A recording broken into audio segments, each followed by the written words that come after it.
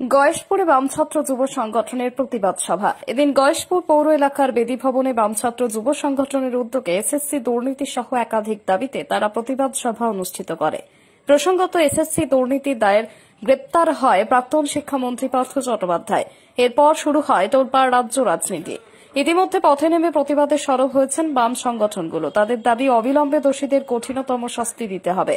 পাশাপাশি তাদের দাবি, শুধু পার্থ চট্টোপাধ্যায় একা নয়, আরও বড় বড় মাথা রয়েছে তাদের চিহ্নিত করে শাস্তির দাবিতে বিক্ষোভ সমাবেশ ও প্রতিবাদ মিছিল করেছে এদিন গয়েশপুর পৌর এলাকার বেদি ভবনে প্রতিবাদ সভা অনুষ্ঠিত করে। এদিনের সভায় বামছাত্র যুব সংগঠনের নেতা কর্মীরা উপস্থিত ছিলেন। তারা প্রাক্তন শিক্ষামন্ত্রী পার্থ চট্টোপাধ্যায়ের গ্রেপ্তার সহ একাধিক বিষয় নিয়ে বক্তব্য রাখেন। কল্যাণীতে মধুমালঞ্চ মিষ্টি কোথায় পাবেন? একমাত্র রাধা গোবিন্দ মিষ্টান্ন ভান্ডার দু নম্বর মার্কেটে কল্যাণীর অন্যতম পরিচয়, রাধা গোবিন্দ মিষ্টান্ন ভান্ডার আপনাদের সেবায় নিয়োজিত বিগত চল্লিশ বছর ধরে কল্যাণীর একমাত্র বিশ্বস্ত প্রতিষ্ঠান, রাধা গোবিন্দ মিষ্টান্ন ভান্ডার বলছি আমরা ছাত্র হিসাবে নিজেরাই লজ্জিত। যে শিক্ষামন্ত্রী চুরি করতে পারে একুশ কোটি নব্বই লক্ষ, আমরা ছাত্র হিসেবে বলছি যে এটা আমাদের কাছে লজ্জা। কারণ এই পশ্চিমবাংলাতে আজ পর্যন্ত আমরা কোনোদিন দেখিনি এই অবস্থা। চৌত্রিশ বছর বামফ্রন্ট ক্ষমতায় ছিল। তারপরে এই সরকার এসছে। এই সরকার আসার পরে এসএসসি, টেট, দিনের পর দিন ছেলেরা পরীক্ষা দিতে পারছে না।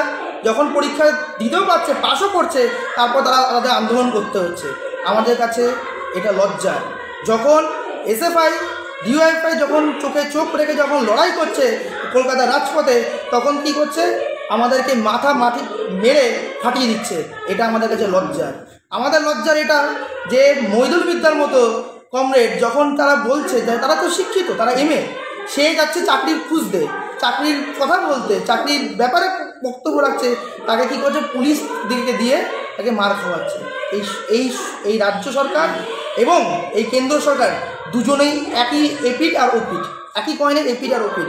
আমরা বলতে চাই, যতদিন আমরা এসএফআই করব, যতদিন আমরা ডিওয়াইফাই করব, ততদিন চোখে চোখ রেখে আমরা লড়াই করব। কেন কি এই সরকার আর যদি বেশিদিন চলে, তাহলে ছাত্র যুবদের অবস্থা আর কি বলব, একটা কোলাপস অবস্থা যখন চলে যাবে। তাই আমরা বলতে চাই, তার জন্য আমাদের লড়াই এই বেদিবান বাজারে দাঁড়িয়ে আমরা বক্তব্য রাখছি এই জন্য।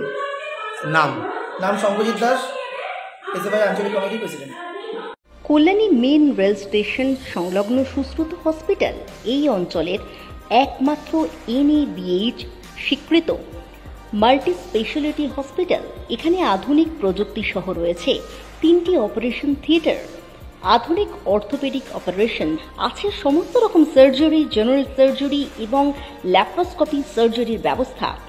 এখানে চব্বিশ ঘণ্টা অভিজ্ঞ ডাক্তার, প্রশিক্ষিত স্বাস্থ্যকর্মী দ্বারা পরিচালিত বারো বেডের আইসিইউ ইউনিট, সমস্ত রকম আধুনিক সুযোগ সুবিধা সহ ভেন্টিলেটরের ব্যবস্থা।